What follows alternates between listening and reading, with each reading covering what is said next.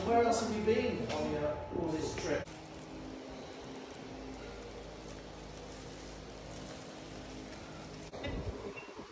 Why, how much was he Twist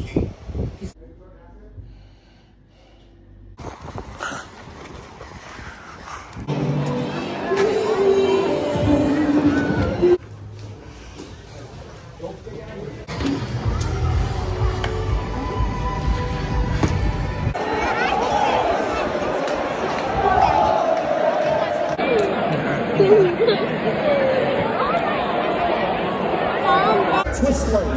2 p.m. tomorrow.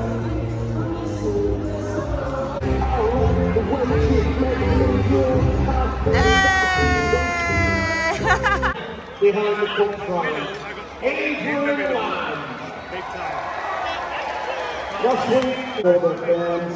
Uh, they've hung there for a long time. And what an unbelievable group of supporters we've got. Obviously, we've had a massive crowd here today. It's just a, a, a surreal battle. We want the Olympics! That's who it's! Let's do